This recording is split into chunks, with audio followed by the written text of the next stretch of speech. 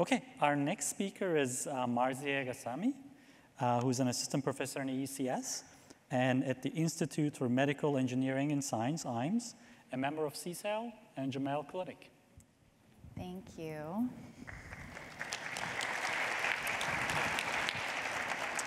All right, um, I'm not going to stand in the middle because uh, Iranians have this cultural thing where if you turn your back to someone, you're trash. So I'm not going to turn my back to my illustrious colleagues. Instead, I'll, I'll stand over here and uh, use this podium. I'm going to talk to you a little bit today about how we use um, healthy machine learning in healthcare contexts. And I'm first going to uh, take you through a trajectory. So my lab is the Healthy Machine Learning Lab at MIT and we try to form these actionable insights in human health. But how do we actually train AI in a healthcare setting? Well, uh, let's pretend that somebody approaches me and says that they want to build an x-ray triage model, okay? So you work at a hospital in Boston and this is something you want to do.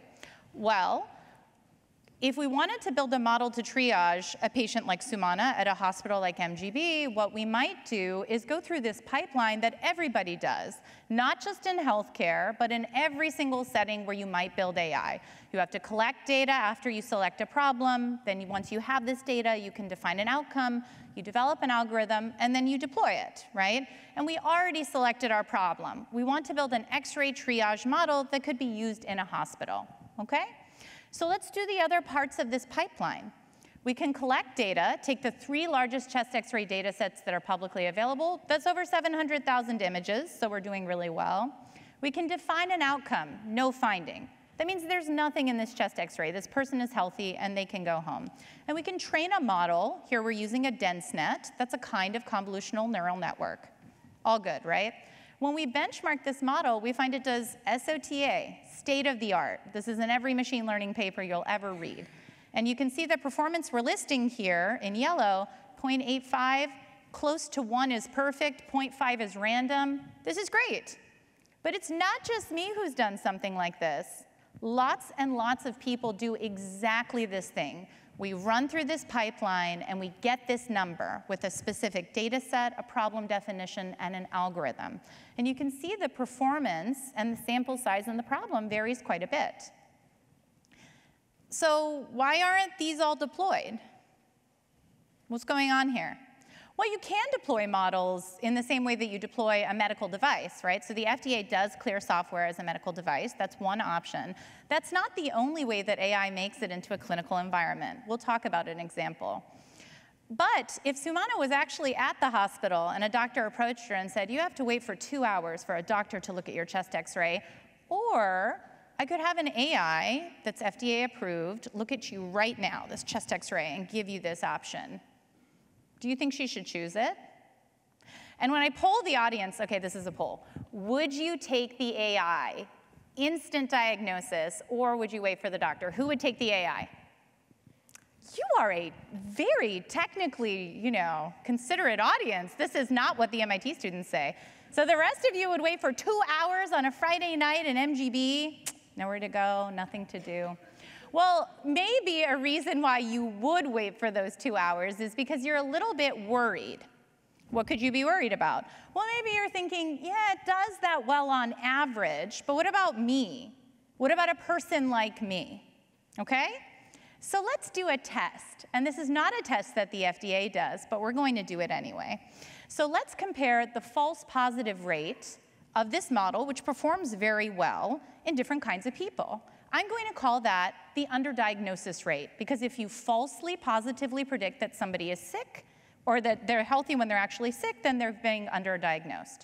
And so when we do this comparison and check for underdiagnosis, we find that there is the largest underdiagnosis rate in this state-of-the-art model in female patients, young patients, black patients, and patients on Medicaid insurance. And as you might imagine, people who have an intersectional identity, black or Hispanic female patients are underdiagnosed more heavily than those with an aggregated identity that is in a majority group.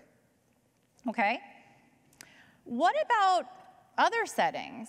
So it's not like this is the only way that AI gets into a clinical space.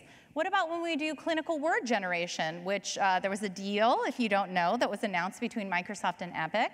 So there's a, a partnership that's there where they're automatically drafting message responses right now for patient communications in a healthcare setting in several US hospitals.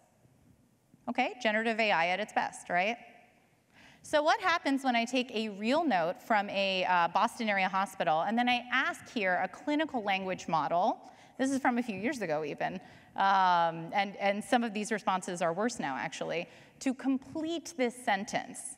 Well, if I start this sentence with Caucasian or white patient was belligerent and violent, this model, SciBERT, Scientific BERT, which is a transformer, um, says that this patient will be sent to the hospital. But if I start with African, African American, or black patient became belligerent and violent, the model completes this note with the patient should be sent to prison. So when we think about how we develop models, it's really important that at each stage in this pipeline, we think about important issues. I'm only going to talk to you about two issues that are not the things machine learning people think about most of the time. I'm going to talk to you about the way we define outcomes and the way we deploy these models.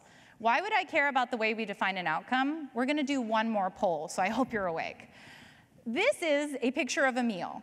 And if my kid's school asked me to build a machine learning model so that it could classify whether this meal violated the school policy against high sugar meals, how would I do that?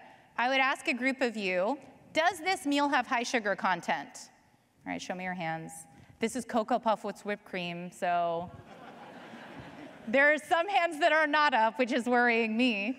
Um, and then I would train a machine learning model to mimic this majority label, which shame on you if you kept your hand down, honestly. But I just tricked all of you uh, in a very specific way that we're all very trickable, it turns out. I just asked you a descriptive label. I asked you to describe whether this was a high sugar meal. It's a little bit different than the task, right? The task is, does this violate a school meal policy that prohibits high sugar meals? And maybe you're saying, haha, that's so silly because these are the same thing. If it's high sugar, it violates this policy. But 17 out of 20 people say it's high sugar, and 2 out of 20 say it violates a policy that prohibits high sugar. And when we train discriminative or generative AI, we are always collecting labels for our data in one setting, descriptively. Is it high sugar?